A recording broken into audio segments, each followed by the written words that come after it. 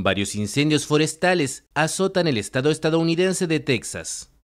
El Servicio Forestal indicó que el mayor de los cinco focos aún activos había quemado hasta el miércoles unas 344.000 hectáreas y solo estaba contenido en un 3% de su extensión.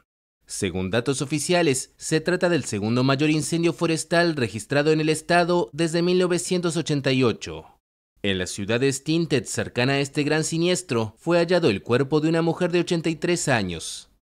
Durante la noche del martes, la principal fábrica de armamento nuclear de Estados Unidos, Pantex, situada en las cercanías de una de las zonas afectadas, debió interrumpir temporalmente sus actividades.